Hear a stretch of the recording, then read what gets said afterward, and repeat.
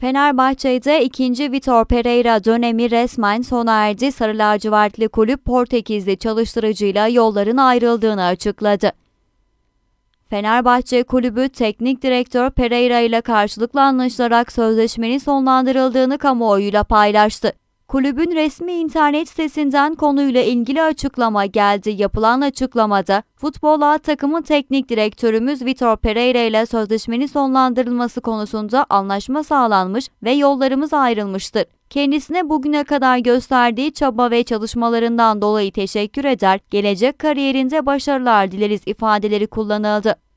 2 Temmuz'da göreve gelen Pereira sarı lacivertli takımla ikinci dönemini geride bırakırken 25 maçta 11 galibiyet, 7 beraberlik ve 7 mağlubiyet yaşadı.